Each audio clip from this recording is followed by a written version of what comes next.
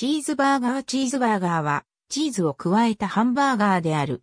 チーズバーガーという言葉は、チーズとハンバーガーのカバン語。伝統的にチーズは、ミートパティの上に置かれるが、構造、具材等が様々なものがある。チーズは通常スライスしたものを用い、溶けるようハンバーグが焼き上がる直前に乗せられる。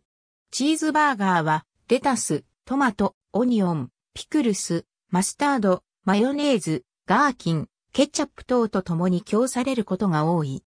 ファストフード店では、チーズは、プロセスチーズが用いられることが多いが、チェダーチーズ、スイスチーズ、モッツァレッラ、ブルーチーズ、ペッパージャックチーズ等の種類がある。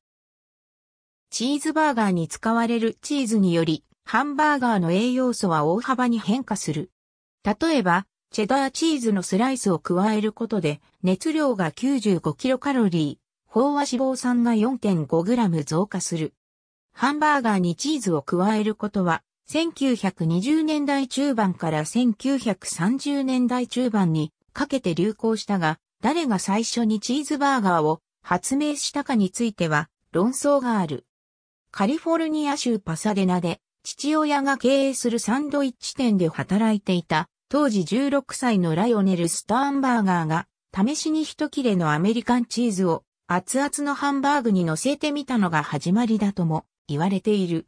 また、ケンタッキー州、ルイビルのケリン、S レストランが1934年に発明したという主張もある。その1年後には、コロラド州デンバーにあるハンプティ・ダンプティドライブインのルイス・バラストがチーズバーガーの商標を取得した。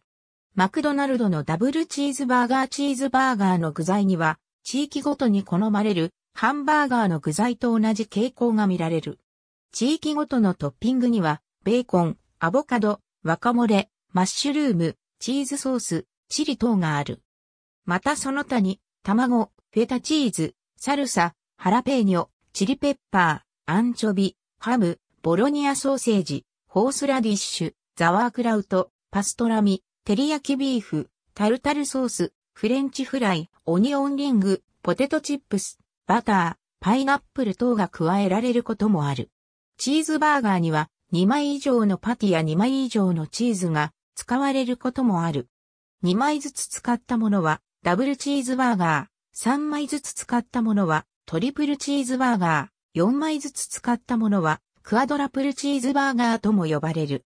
イスラエルチーズバーガーにはひいた肉とチーズが使われているため、ユダヤ教のカシュルートとはみなされない。ミルクと肉を混ぜたものは、ハラーハーで禁じられている。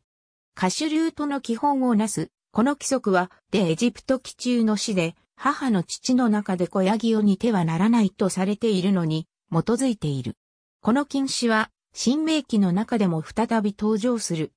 この規則は、マクドナルドが現地でフランチャイズをオープンし、チーズバーガーを提供し始めた時に、エルサレムで食のタブーをめぐる大論争を巻き起こした。